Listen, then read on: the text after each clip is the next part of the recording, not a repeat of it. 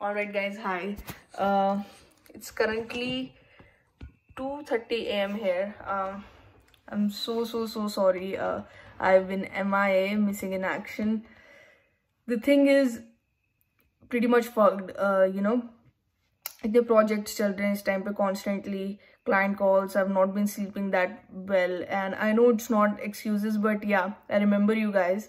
तो ये एक वीडियो है how to curb distractions that you are facing in boards I know boards अभी तीन महीने बाद हैं there is plenty of time मेरे ओपिनियन में this a lot of time and frankly इतना सिलेबस वगैरह भी नहीं रह गया अब तो.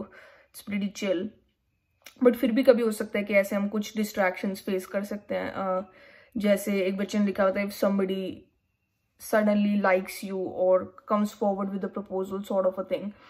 तो उसमें क्या करें? एंड ऐसी और भी बहुत डिस्ट्रैक्शन होती है। First I tell you about my distraction मुझे जो बेसिकली मेजर डिस्ट्रैक्शन लगती थी बोर्ड्स में, वो ये थी कि बच्चे बार बार कॉल करके कहते रहते थे कि तेरा सिलेबस हो गया, तूने इतना कर लिया, कितना कर लिया? अच्छा ये कर लिया यार, मैंने तो इतना नहीं पढ़ा। अच्छा कहीं से क्वेश्चन ना आ जाए तो तू ये तो नहीं कर रही? और बार बार बार बार अपना सबका सब कुछ रहता था बट सब फालतू की बकचोदी मिलते थे कि मैंने ये नहीं कर रखा, मैंने वो नहीं कर रखा, ये वो फलाना रहता तो मैं तो कॉल्स उठाती नहीं थी।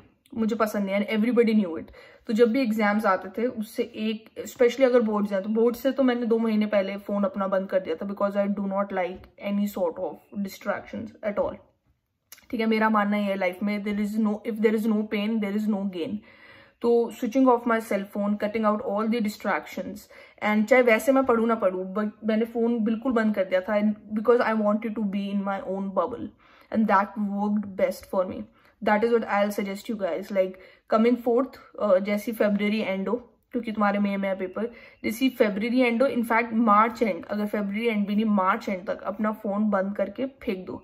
मैं तो ऐसे बंद कर दिया था कि मैंने सिम निकाल के उसको पूरा न्यूज़पेपर में रैप करके दूसरी साइड फेंक दिया था।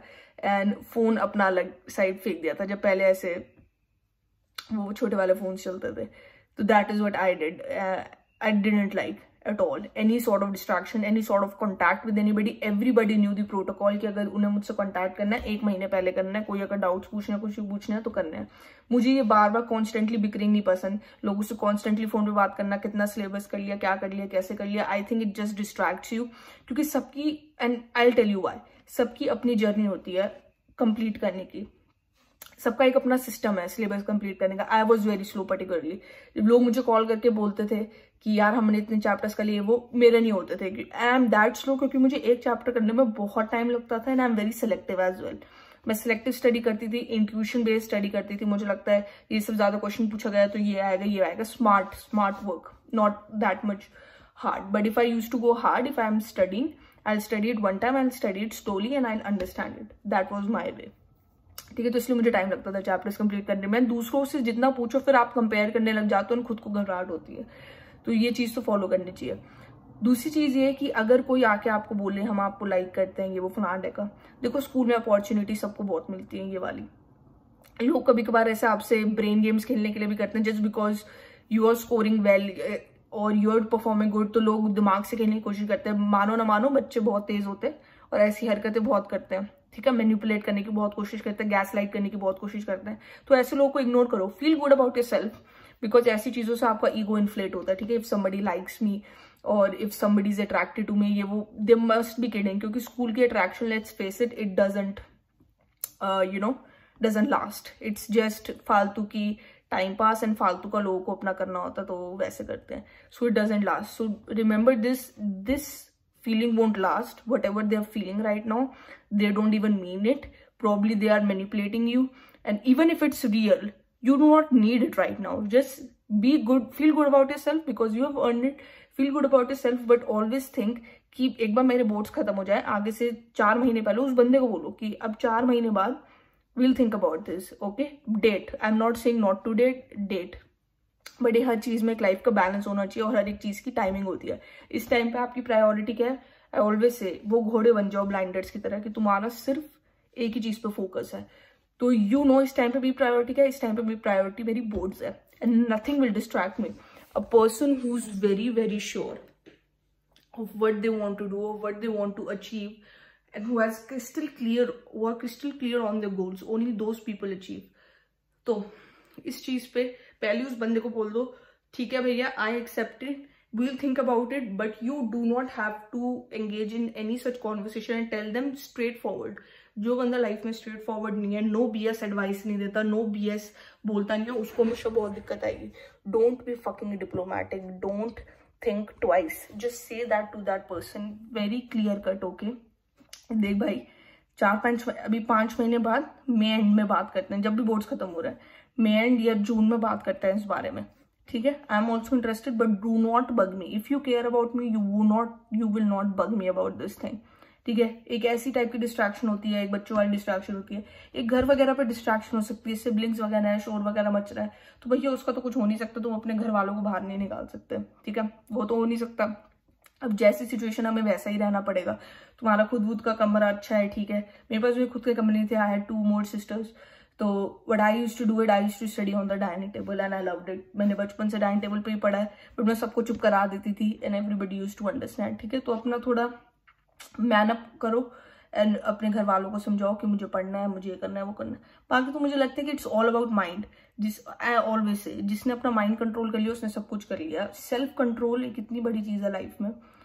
सोशल मीडिया का कंट्रोल करना कि कितना आप कितना एक्सेस कर रहे हो इस टाइम पे इंपॉर्टेंट है या नहीं। इस टाइम पे बहुत इंपॉर्टेंट है तो you are not accessing that much you are not consuming that much media whatever entertains you trains you okay अगर आप यूट्यूब पे अच्छी वीडियोस देख रहे हो माइंडसेट वीडियोस देख रही हो मोटिवेशनल वीडियोस देख रहे हो इंस्पिरेशनल वीडियोस देख रहे हो, जो भी चीज़ आपको लाइफ में आगे बढ़ाएँगी, उन चीज़ों का फ़ायदा है if you are consuming fucking garbage if you are consuming things like Bigg Boss on a daily basis I use to love Bigg Boss but I didn't watch it this year at all because I have pivoted. I have shifted my entire focus because I know now that whatever is entertaining me, train me. So aisa nahi I'm not watching Netflix, aisa nahi hai I'm not watching, I'm recently started watching Japanese anime. Okay, I watch different stuffs. I, I watch entertainment.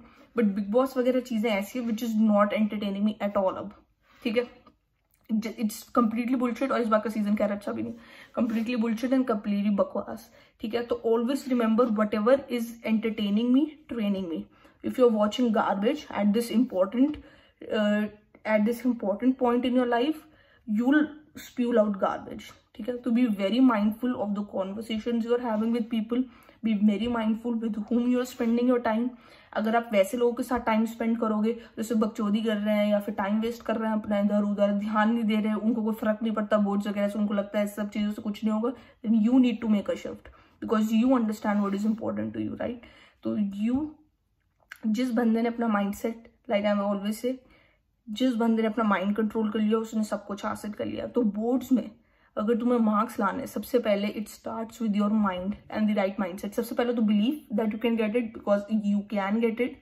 and second चीज़ ये कि you have to eliminate everything that is keeping you from achieving that goal and that is you yourself control your thoughts control your mind अपने आसपास की कोई चीज़ें कोई control नहीं कर सकता। कोई क्या बोल रहा है, कोई कैसे कर रहा है पेपर कैसा आ रहा है, ये सब चीज़ें कुछ कंट्रोल में नहीं है राइट हमारे कंट्रोल में क्या है? पढ़ना। हमारे कंट्रोल में क्या है? अपना माइंड सेट हमारे कंट्रोल में हमारा बिलीफ ठीक है?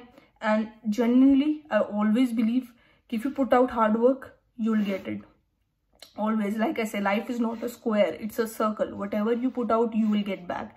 Put out good things good intentions hard work you will get that in return. Sometimes that return is not immediate but you'll always almost always get it. okay always. And even though if you do not get it immediately you will have that reassurance that you gave your best and that is what you want कल को ये नहीं रहना चाहिए, यार, सबको पता है अंदर ही अंदर पता होता है। लोग चाहे कितनी स्टड मिल रहे सबको अंदर ही अंदर पता होता है, अगर मैंने मेहनत करी, नहीं करी, मैंने अपना बेस्ट दिया ही नहीं दिया। तो अगर आपने अपना बेस्ट दिया यू ऑलवेज नो कि इससे ज़्यादा मैं नहीं कर सकती थी। You always have the insurance क्योंकि तुम्हारे हाथ में नहीं है। क्या पता तुमने सब कुछ पढ़ लिया और फिर कुछ और आ जाए। तो वो सब चीज़ें हाथ में नहीं है राइट बट तुम्हें पता है कि मैंने पूरी मेहनत करी है, इससे ज़्यादा मैं कुछ कर नहीं सकती थी। बट फिर भी अगर कुछ आ गया ऐसा तो कोई बात नहीं you'll always sleep like a baby at the end of the day okay so I'll see you guys with a new video very soon. And yeah, good morning to you guys because I'll be posting this video at 6 fucking a.m.